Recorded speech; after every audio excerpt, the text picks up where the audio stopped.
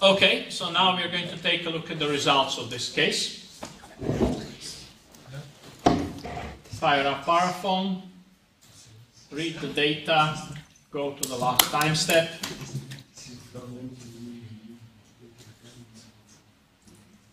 Rescale the field.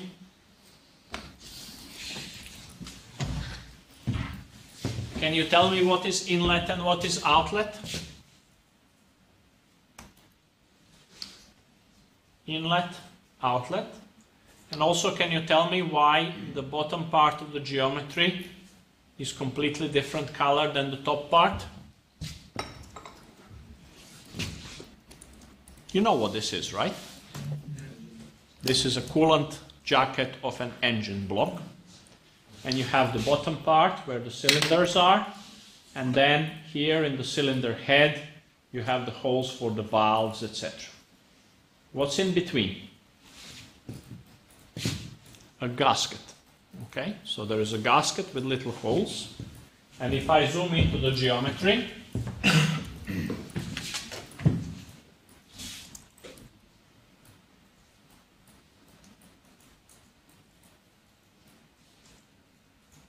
Can you see this? So this is a little hole in the gasket that can show you what is going on here. And also you can see that the mesh is way too coarse or something like this.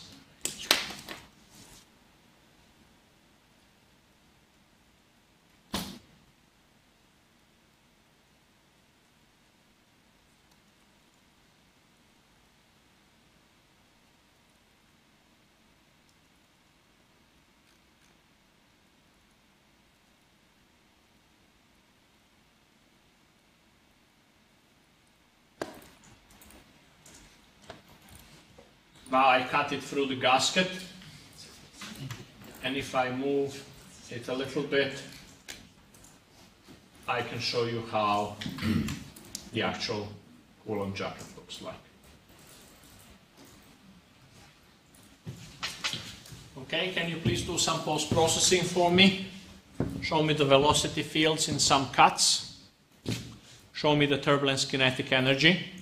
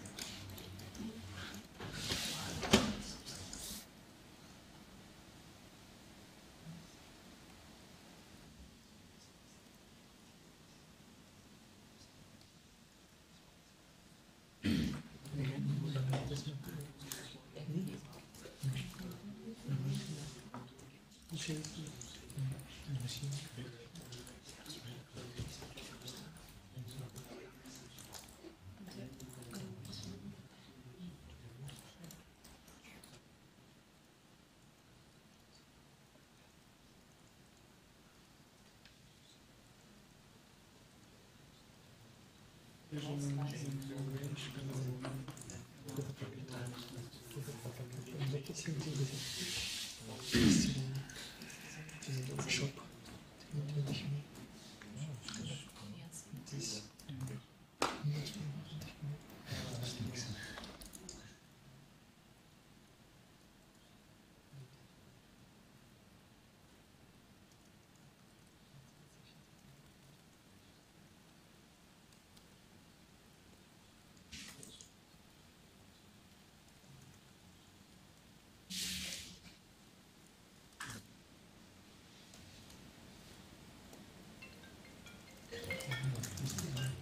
Jetzt müsste man klären, was.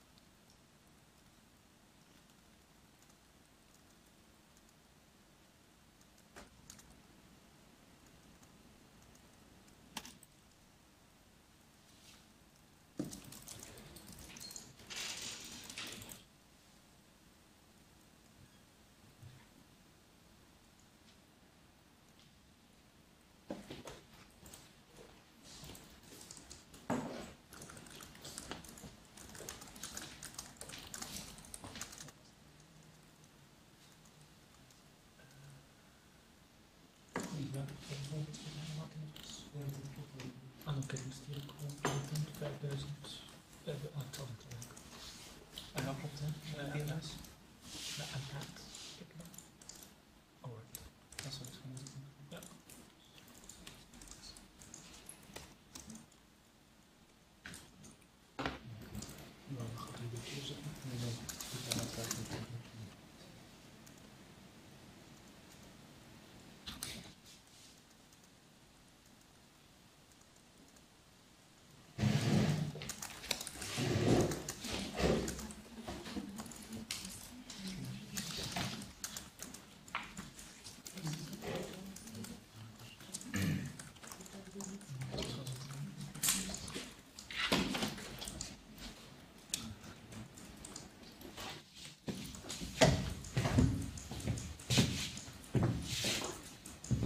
Okay, so here's my candidate for the pretty picture competition.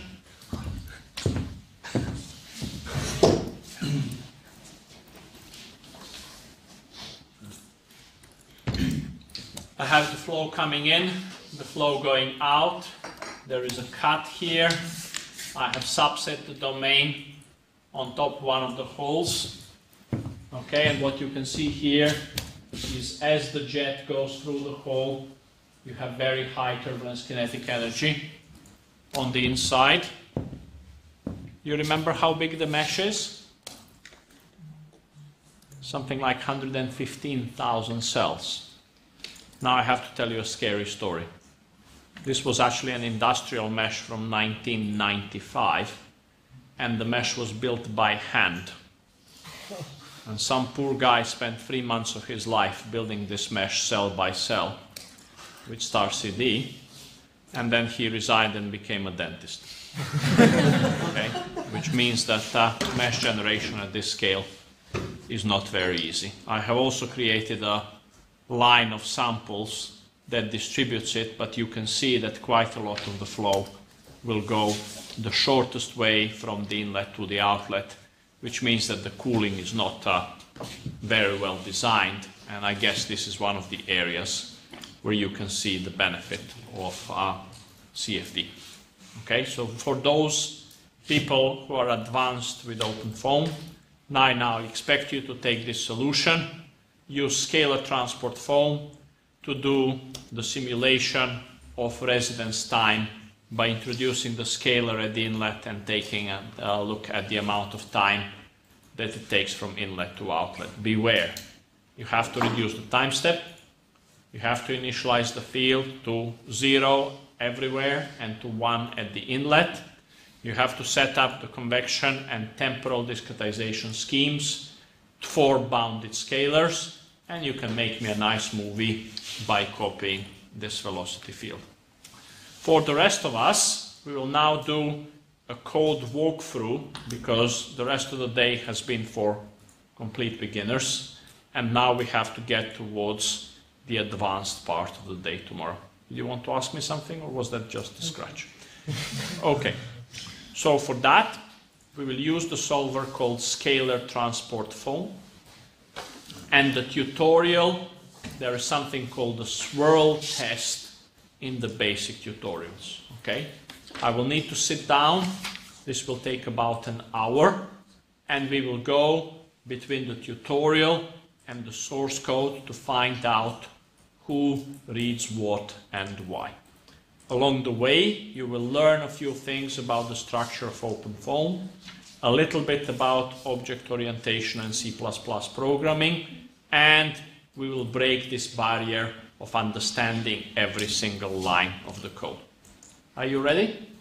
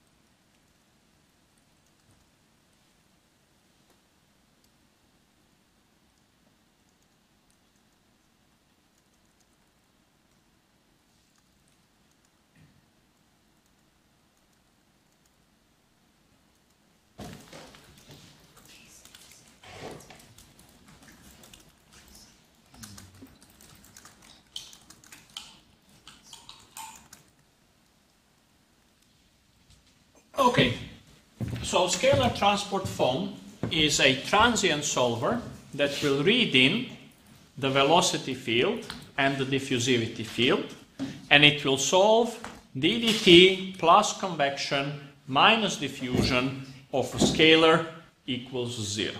Okay? In the simulation that I'm about to show you, the velocity field has been set to look like this.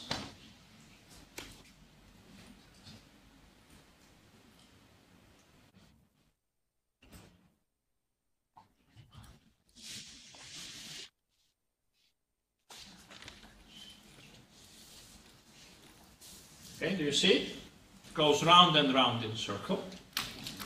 And in terms of boundary conditions, I have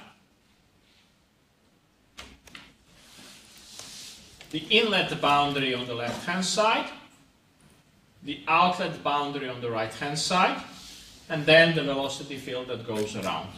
If I color boundaries with my variable called t, you will see that I have a step profile at the inlet, and at the outlet I have a slightly smeared profile. Okay, so for the experts in the audience, can you tell me what difference in scheme I'm using? Upwind differencing because it carries a diffusion-like discretization error. The source code lives, un lives under solver's basic scalar transport foam and here I have several bits. Okay. First, in the make directory, I have a file called files. Okay, and it says compile scalar transport foam.c and put the executable into the location dollar $foam bin slash scalar transport foam. Okay, as I will show you tomorrow, when we want to do some coding, we will typically pick out one of the executables, rename it, give it a different name, different location for the executable, etc. Okay? The other things that we have here is something called the options file. Okay? And that one says that apart from the usual things that I need to do to compile this executable, I wish to access the finite volume library, case headers, plus the object files here in the library called finite volume. Okay? Do you remember the beginning of the day? I told you the Lego set, and then in order to write my executable called scalar transport foam, I will use the parts of the Lego set to reuse the convection, diffusion, discretization, input, output, linear equation solvers, mesh structure, etc., etc., etc., to write as little of this executable as possible. Okay. The business part of the story is the equation that I'm trying to solve.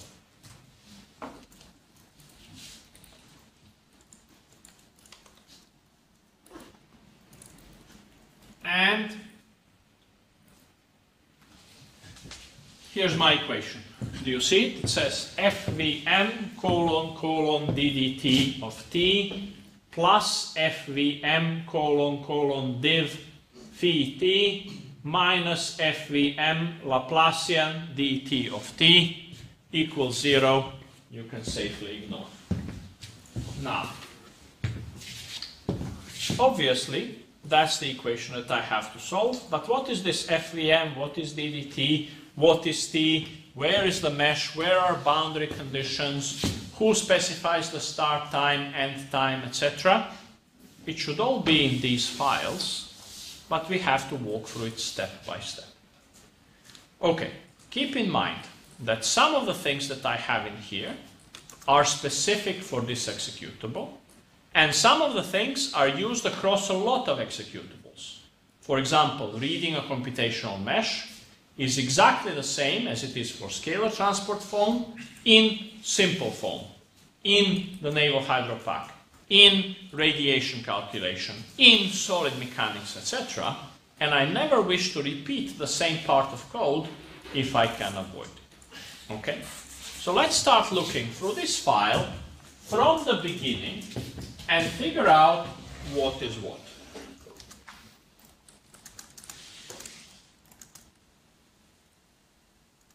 Okay, so in the beginning I have a comment, everything that starts with slash star and ends with star slash is a comment and it is ignored by the compiler in the same way that it is ignored in the input-output part. Okay? Then I have the beginning of the story. This is int main. So when I type scalar transport foam, on the executable line, the execution will start here. Okay? And you will notice this hash include keyword, which basically tells you that I need to pick up pieces of text file and include them here rather than copy or write them multiple times. Okay? I separate those in two parts. Okay? The ones that will be, uh, appear before main, I will call, call header files, and the ones that come after main, I will call include files. Unfortunately, they both end up with capital H because the syntax does not allow us to vary this very much. What is the difference between a header file and an include file? Okay? The header file describes the parts of the capabilities that lives in my Lego set, meaning in my open OpenFOAM libraries. An include file is a little piece of code that's being used many times. So if I decide to change it, I don't have to edit the code at 500 different places. I only edit that one, and then everybody else includes it when necessary. Okay? As you know, OpenFOAM is written in C++, which is an object-oriented programming language. Who knows C++? Not bad. Okay. The way the language works is it will create objects that need to encapsulate some capability. Okay? We can have a lecture on C++ and object orientation tomorrow. For the moment, I need to tell you something like this. An example of an object is a vector. Okay, it's got three components, x, y, and z. And with vectors, I can do a plus b, magnitude of vector, scalar times vector, uh, dot product of vectors. I can read and write them, etc. Okay? So the things and the definition of a vector that I'm going to have will be in a header file which tells me how to use this vector. The actual implementation of the functionality of the vector lives together with the header file in a library. Okay? What are other examples of objects on this level? We call them classes. Well, number one, a computational mesh. Okay, is that a nice object? Yeah. You know what the data is, number of points, point locations, faces, cells, boundary patches, etc. What can you ask your mesh? Well, C check mesh, right? What is your outside bounds? Where is the cell center of cell number 57? What is the volume of cell number 73? And many, many other things as well. Again, the definition of a mesh will be in a header file called fvmesh.h, which will exist somewhere in the library. Okay. Now, how many objects out of the library will I use? Probably tens of thousands. So why don't I have tens of thousands headers here? Because there is what I assume to be a standard set, of the things that I need to do to do CFD. And that lives in a file called FV for finite volume, CFD.h. So let's go hunting for one of those.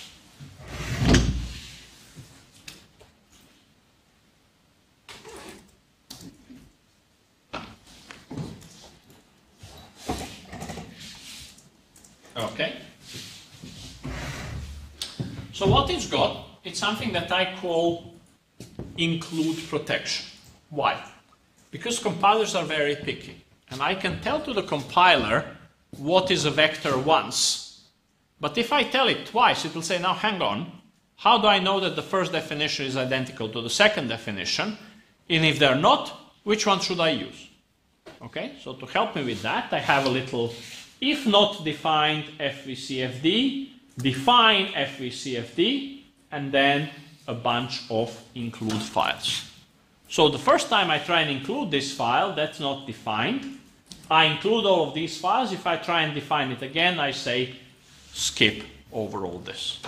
Okay, so what you can see here is a bunch of other header files which explain to me of what's going on and some of them are interesting. For example, foam time will define an object of class type time.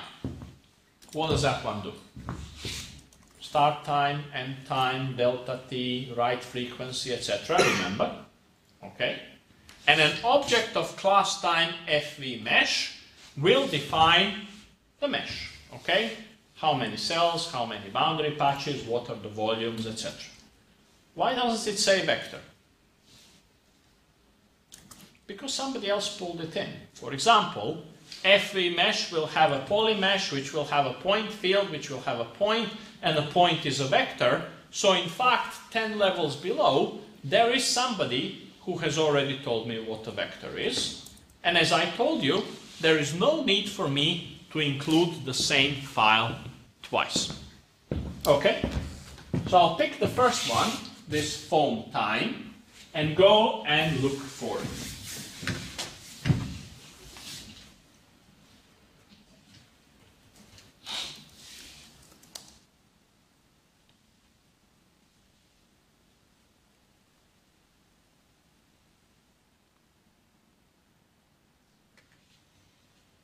So what does this one say? Again, if not defined, hash defined, blah, blah, blah. And then it's got things like switch, CPU time, clock, first in, first out, stack, time paths, object registry, named enumeration, function object list, etc.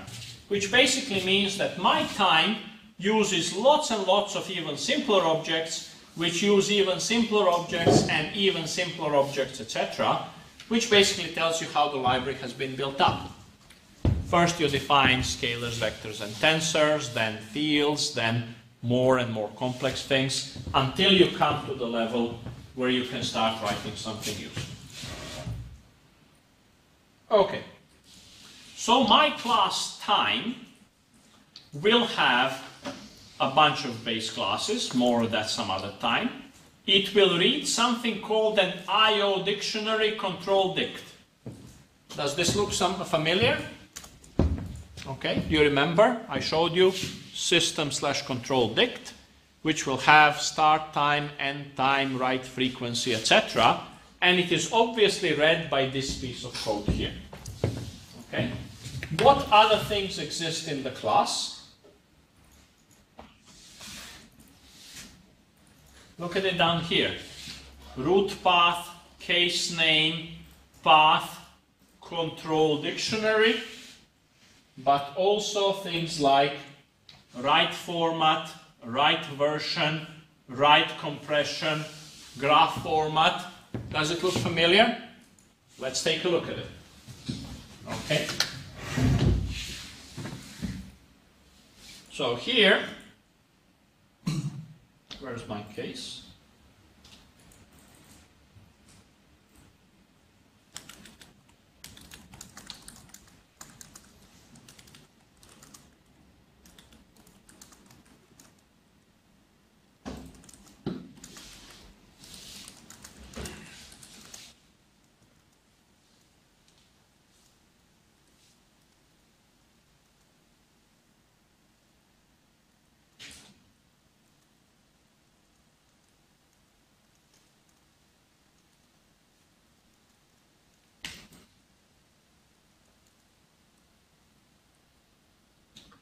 Right control, right interval, right format, right compression, exactly the same kind of stuff that I have here. Okay, what other things do we have? We have something called an FV mesh, okay?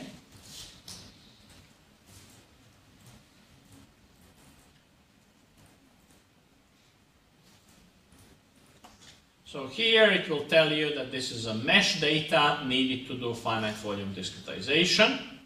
And then it has got a bunch of things down here that you will be able to recognize, like, for example, cell volume, face area vectors, mesh motion fluxes, cell centers, face centers, etc. Now, why is the cell center a member function of the finite volume mesh class?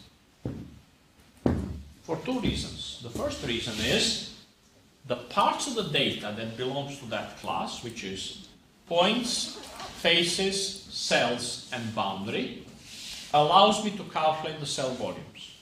Okay? Now, if I ask you for the cell volumes 50 times during a time step. Do you want to calculate them again 50 times? No, that would be inefficient. So who should store them? The mesh class. In my case, the finite volume mesh. Okay? Does that have any additional benefit apart from putting some data together? Yes, it does, because if I have a dynamic mesh simulation, and my mesh moves, that means that my cell volumes are wrong. But the object mesh that contains cell volumes knows that the mesh has moved. So what will it do? It will recalculate the volumes if you ask it, right? Okay, let's go further down.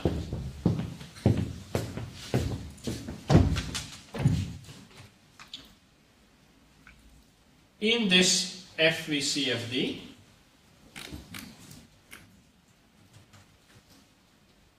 I also have one thing called the argument list. Okay? So this is a very simple class.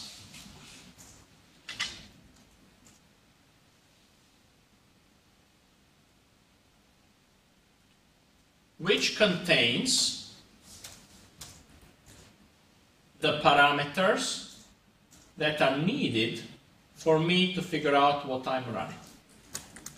Executable, root path, global case name, case name, option, additional argument, option found, and various other things.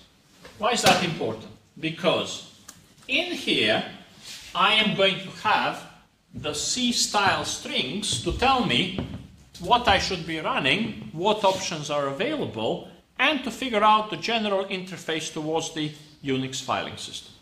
Okay? Now, if I have an executable with two options, does it matter which option comes first? No. If it does, then the programmer is stupid or lazy. Okay? So who is going to sort them and do all the searching?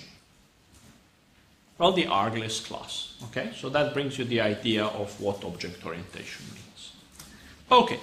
So what we said now is when I start running the executable, somebody needs to pick up the commands and figure out what I am actually going to be running. The definition of all the objects that I have to be using is in here in FVCFD or inside of the headers that are inside the headers that are inside the headers, etc. of FVCFD. If they're missing, that means that the compiler doesn't know about it and it would complain. Okay, so having finished with the header files, let's take a look at that set root case file. Now please note, the stuff that I showed you so far will have text like, for example, class arglist, private data, public data, interfaces, etc. Whereas,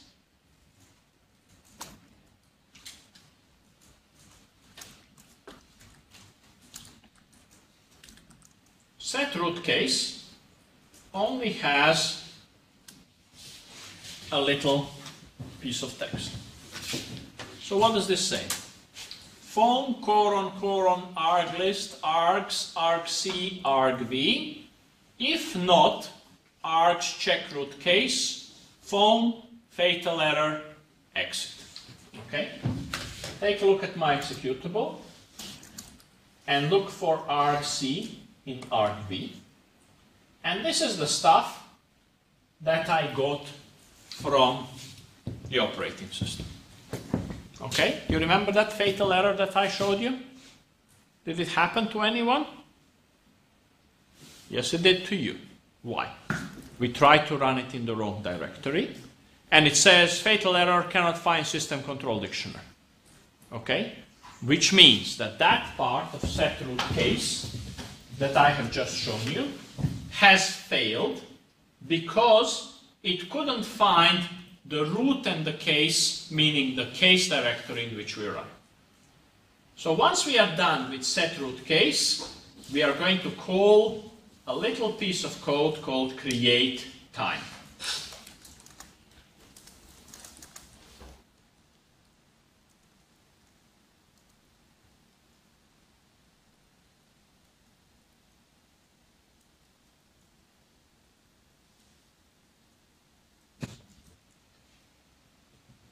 You see what, that, what it does now? It says, create me an object of type time called runtime. Use args root path and args case name. What's this args? Well, that's the object of class type arg list that I showed you before. And it will read system and constant.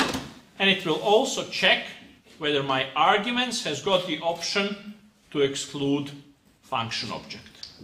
This piece of code is called a constructor. It will make a new class object called runtime that I can ask questions.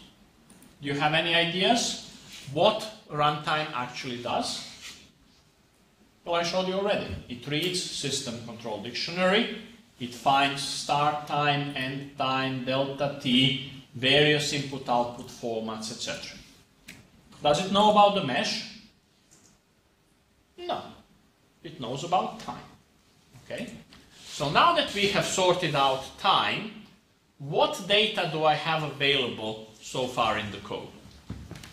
First, I have my argument list, which just helps me interface. Second, I have time. Okay? Which means that the third thing that I have to construct, I have to construct using runtime. Okay? Back to the top level code. After doing create time, I will do create mesh.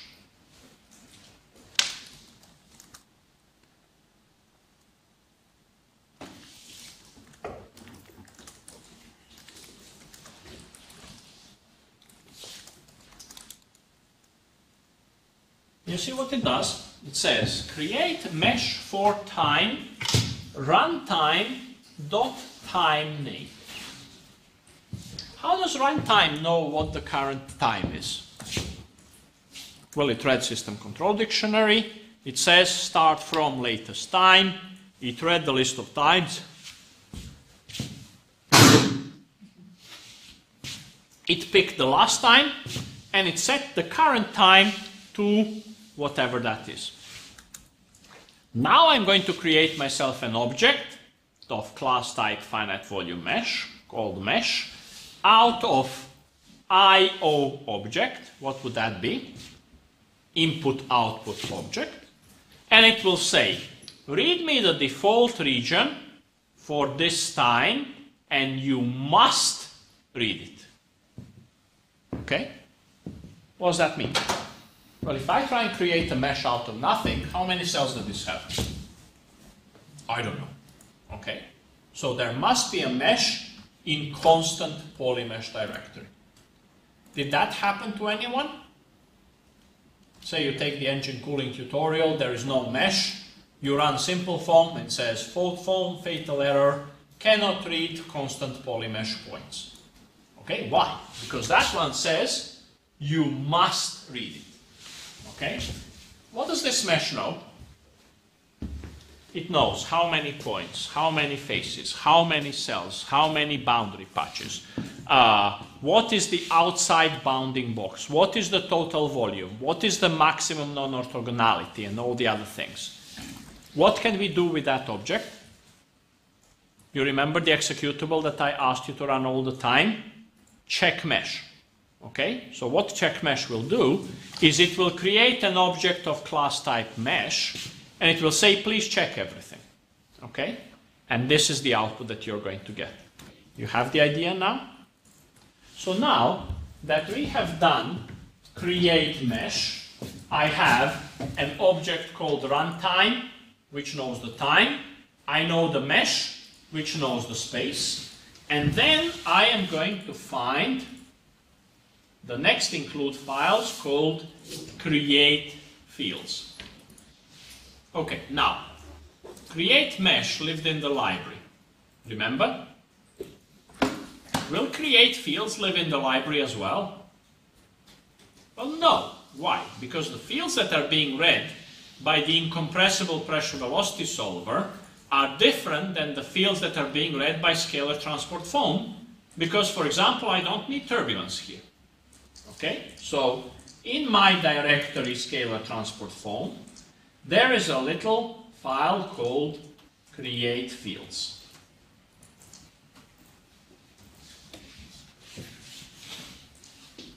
So what does that one say? It says info reading field T, volume scalar field T, IO object called T, from runtime time name for my mesh I must read it and I will automatically write it. Okay? What's runtime time name? Well, my object of class type time will read system control dictionary, it will point to one time, and now I will go into that directory and look for the object called t. Okay? Also, please notice the consistency. My field in the code is called t.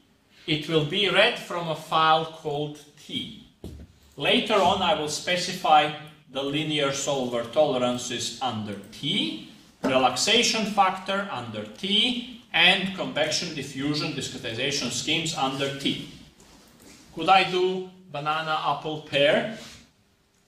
Yes, I could, but I will go bananas before I wrote five of those. Okay, so there's a lot of consistency, like runtime is called runtime, mesh is called mesh, T is called T, U is called U, unless you have a very good reason. Okay? So what does this piece of code do? It will go into the zero directory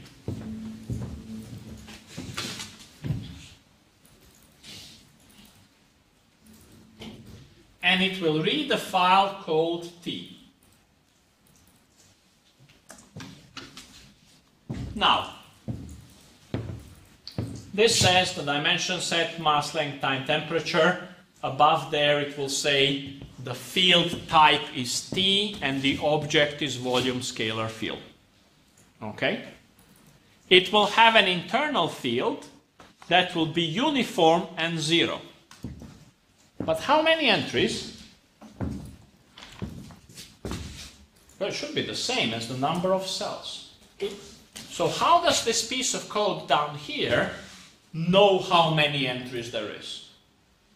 Well, there is an object of class type mesh which is responsible for the space and it will tell you, aha, you have 527 cells, therefore, please make me a field which is uniform with 527 zeros. Okay, what happens next? My mesh has got a boundary field, which is a list of patches.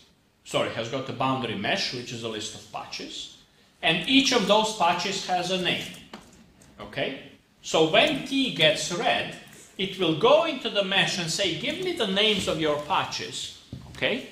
And I will pick up that name and look into this file until I find the same name, and then I'm going to create a patch type inlet outlet by reading the stuff out of this dictionary. How many entries in that patch? Well, I don't know, but I'll ask the mesh for the patch index and for the size and create the whole field. Happy? Is this easy? You bet it is. Okay? Let's go further. The next field that I need to have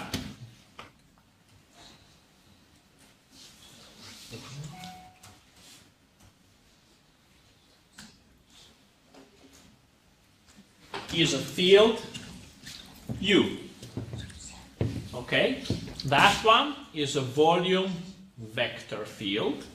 I will read it from the same time and in the name called U on the same mesh and I must read it. Okay? Now what does that mean? If the field U is not there, kindly fail. Okay? If the field U does not belong to this mesh, it means that the number of entries in the internal field will be different than the number of cells. Okay? If the patches and patch types do not correspond for this mesh, it is going to fail again. Now take a look at this.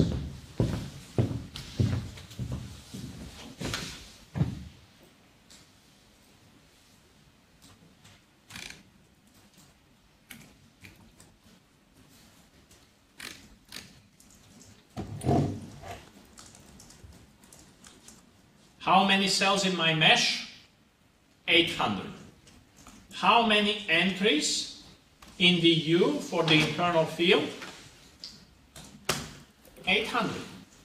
So everything matches, right? Okay.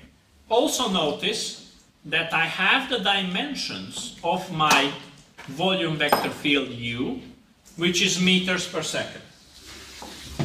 Do I know this is a velocity? No, not really. It's just a field of vectors that has got one xyz values that happens to have the dimensions of length over time. Okay? So now that I have read my velocity field, the next thing that I need to do is read the diffusivity.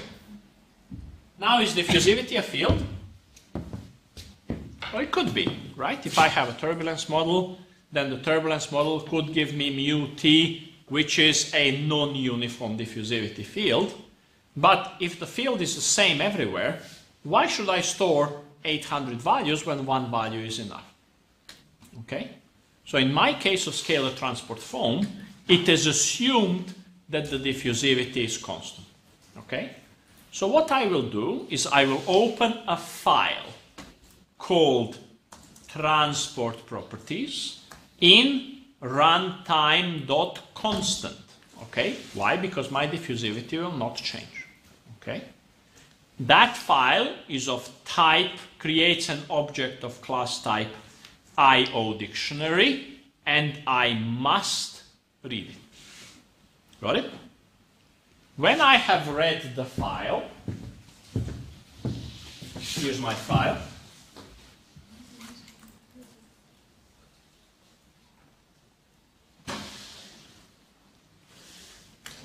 Okay, you see, dictionary, transport properties. I will say dimension scalar dt constructor transport properties dot lookup keyword dt. Okay, so what that will do is it will create me an object of type dimension scalar which has got name, dimension set, and value, and it will put it into something called dt. Okay? Notice the consistency. Dimension scalar dt, lookup dt, keyword dt, name dt. Why? because if I do anything else, I will go crazy. Okay?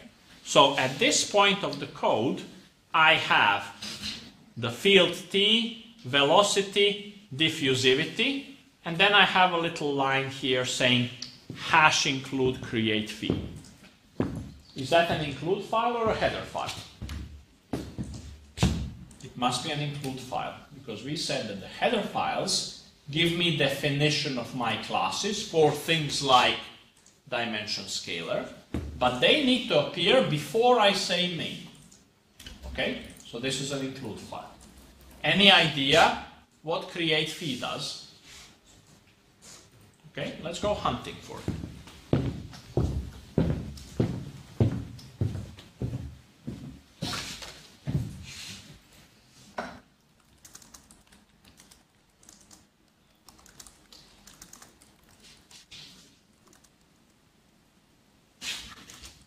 it will say reading slash calculating face flux field phi. Okay, so phi is basically a dot product of my velocity field and the face area vector, which is the finite volume way of describing convective transport. It says surface scalar field phi. Hmm. Previously we had volume scalar field or volume vector field. Volume field has got one value for each cell plus a bunch of values on the boundary, whereas a surface field has got one value for each internal face, okay, and a bunch of values at the boundary. So what it says is read from a field phi from the current time, but now it says read if present. Okay? So if there is a field phi there, you read it. If there isn't, you will make yourself one. Okay? The field is u dot sf, where sf is the mesh face area vector. Who knows the face area? Well, the mesh, right? It knows how many faces, where the cell centers are, where the face centers are. It calls the faces and the points, so it can calculate the face area, which means that I can do something like mesh.sf, and this animal here is a surface vector field, meaning one vector for each face, giving the face normal with the magnitude equal to the area. Okay? Now I have a problem my U was defined on cell centers, and I have 800 cells, and my SF is defined on face centers, and I have 960 face areas. How is that going to work? Well, what I have to do is interpolate from cell centers to faces, U, and then this ampersand is a dot product, saying do a dot product between the velocity and the face area to get my flux. Oh, by the way, if I can read it in, then I don't have to bother with all this. Got it? Everything clear? What do we have so far? Runtime, it knows when to start, when to stop, what the time step size, etc. is. We have a field t, field u, field phi, and a dimension scalar called dt. Okay? Which equation are we solving? Still don't know. Okay? So let's stop with this and go back to the top level code.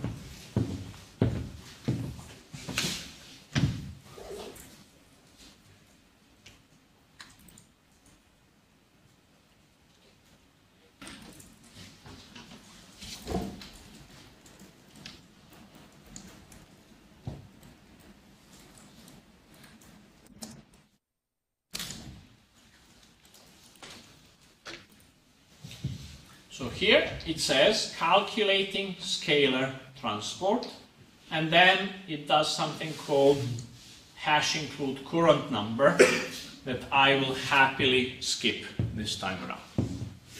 Okay? Then it says while runtime dot loop. What will that do? It will go start time, start time plus delta t, plus delta t, plus delta t, plus delta t, until the time has reached the end time, and then it will stop. Okay? Inside of every time step, it will do something called hash read simple controls. Okay? So what does read simple control do?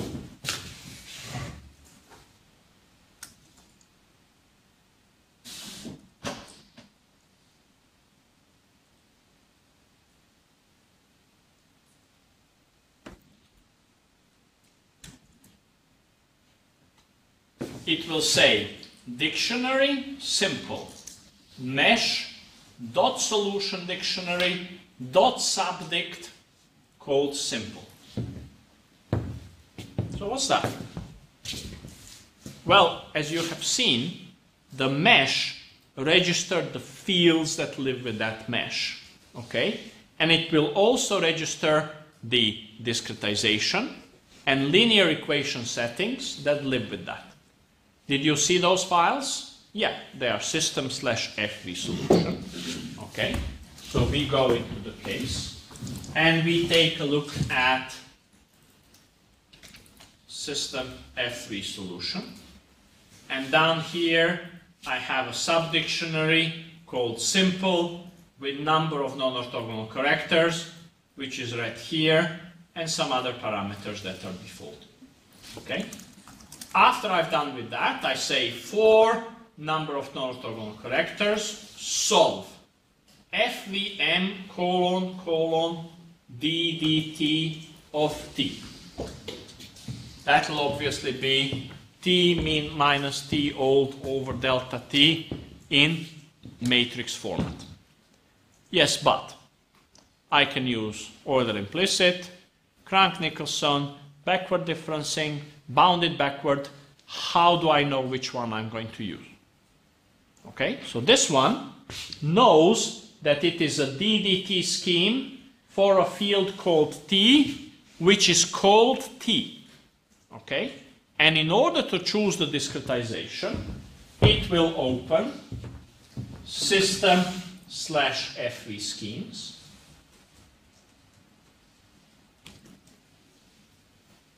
it will look under DDT schemes for an entry which says DDT of T, and it will choose the scheme called Euler. Happy? That will make a discretization matrix. And then I'm going to do the same thing with the convection term.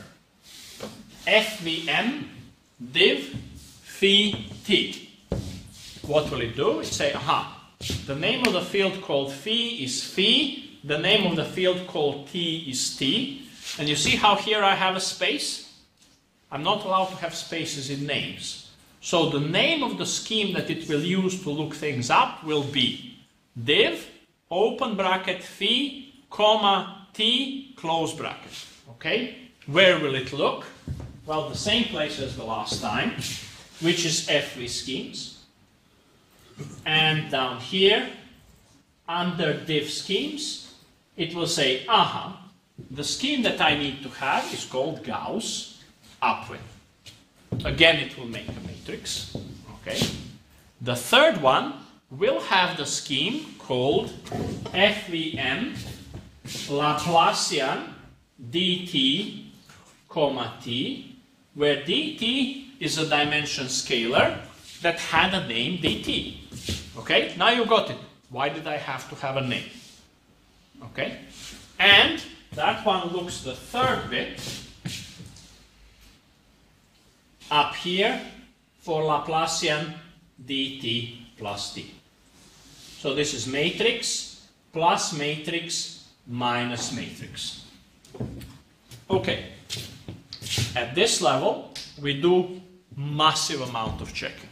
Okay, so the first thing is, does the matrix refer to the same thing? What happens if I say here div phi k? Okay, well I can't solve for t and k simultaneously in a segregated scalar solver, so those two fields need to match. The second thing is, do phi and t belong to the same mesh? If they don't, I could be solving heat conduction in a solid with the fluxes from the fluid. That doesn't make sense. Okay? And the third thing that I check is dimensions. Okay? So, T has got dimensions of Kelvin. d dt is 1 over time, which means that the matrix dimensions are Kelvin over time. Okay? What is the dimensions of the Laplacian dt, comma t? Well, it will be 1 over meter squared, time meter squared over second, time Kelvin, so the whole thing is Kelvin per second. Okay? So if you try and develop a code and write an equation which is not dimensionally correct, the code will find out for you. Okay? And all of this checking happens on all the operations at the matrix and the field level. So in fact, the code looks after silly mistakes that you can find. After that, I say solve. Okay? But which linear equation solver? Where will that look? It will go into system slash FV solution.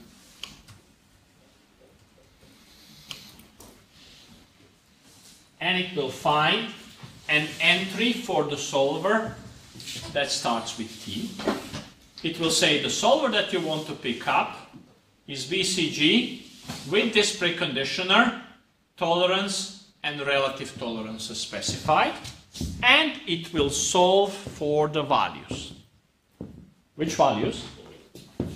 The values in cell centers. Okay?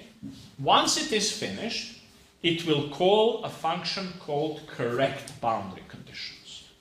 Meaning, if I have an inlet boundary condition which is fixed value, there is nothing for me to do. However, if I have an outlet boundary condition which is zero gradient, it wants to say that the values on the faces of the outlet boundary are the same as the values in the cells in front of that outlet boundary. So that will all be nicely correct.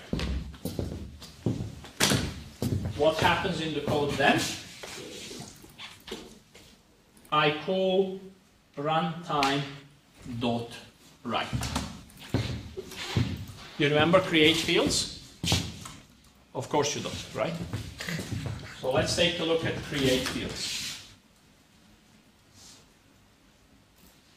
Here it said volume scalar field T is an IO object called T that belongs into current time.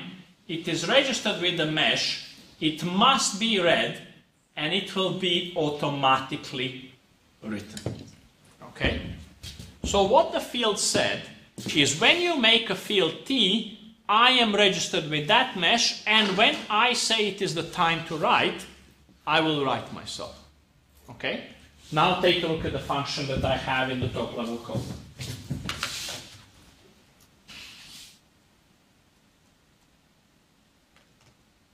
Runtime dot write. What does that do? It says, dear fields, everybody who has registered with me, because I am the database, let me see if it is time to write. Okay? And it will say current time, write frequency, and all the other parameters. And then it will tell all the fields, dear fields, go write yourselves. Okay? And for example, a field called T says I am set to auto write, and I will write myself where? Runtime dot time name because the time follows the time steps, okay? And another field, like for example my transport properties dictionary, which lives in constant, does it have to write itself? No, because it doesn't contain output data, only input data. So everything will be written out, and that carries on until I get to the end of the time Got it? Did you learn something new? Okay, so how about you try and run the swirl test tutorial and then we are going to have a little play with discretization schemes. Okay? So tutorial lives in basic scalar transport foam. It is called swirl test, and it has also got a little uh, in ve- velocity initialization tool called set u.